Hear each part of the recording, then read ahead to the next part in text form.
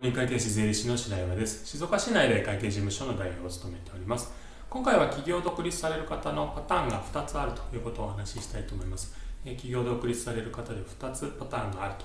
いうことなんですが、1つはですね、もう金儲けしたいと、お金儲けたいという動機で始められる方です。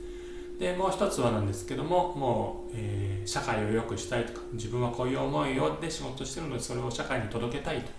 いうような方ですね。理念型の企業、え、1番目が金儲け型の企業と、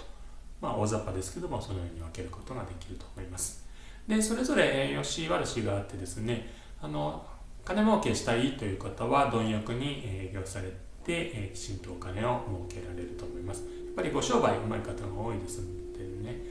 もともとあのお金が欲しいという方は積極的で行動力もあって、え、決断も早いということでバンバンバンって進む方が多いですね。ただですけどもねあのやはり理念がないので例えば、えー、極端な話従業員を駒のように使ったり使い捨てだと思ったり、えー、お客も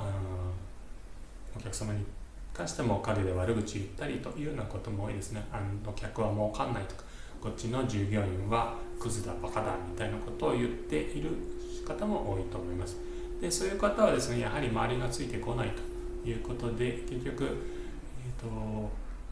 まあ、理念がないんですね。金儲けをする以外の理念がないのでそういうところに反発する方がいらっしゃって結局いずれ儲からなくなってくる。自分の力技だけでは稼げなくなって、えー、儲かっていかなくなるよと。どっかで資金繰りが悪くなって止まってしまうみたいなケースがありますね。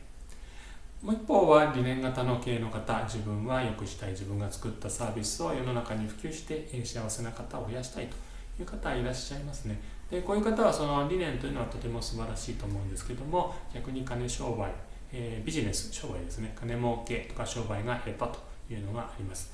えー、例えば、えー、1万円で売れるものをいや1000円でいいですよみたいな、えことにもなります。商売が下手なんでどうしてもボランティアチック、え事前の精神が表になってしまって価格を高くできないとか安売り結果的に安売りしてしまうみたいなこともあります。あとは従業員の方にも、まあ、きちんとしてお給料を払うんですけども払いすぎてしまったりということがあります。当然払うにものを払うんですけどもあの高く時給を設定してしまったり仕入れ先とも値入りの、えー、交渉ができなくて値段の交渉ができなくて高く仕入れてしまってやはりこちらお金がなくなっていくというパターンが多いですね。理念型なんで共感していただける方は周りに増えていくんですけどもあのお金がどんどん減っていってやっぱり資金証として廃業というようなケースも見受けられます。じゃあどちらがいいんだっていうことですけども金儲けか理念型かというのは、まあ、結論的にはバランスをとってくださいということですね。金儲けも大事ですけども理念も追求していくのが大事、まあ、半々50-50ぐらいであの考えられるのがいいんじゃないかなと思います。いいサービス、いい商品作りました。それをきちんとした値段設定して、きちんとお金をもらう、お金を儲けていただくというようなバランス感覚がいいんじゃないかなと思いますので、ぜひあのこれから企業独立される方は、私はどちらのパターンかな、金儲け型か、理念型かというのを考えていただいて、どっちかでこっちの方は足りないなと思うんだらそっちの方のえーと、考え方ロジックを身につけていただくのが結果的にビジネスを成功させる、うん、コツなのではないかなと思っております。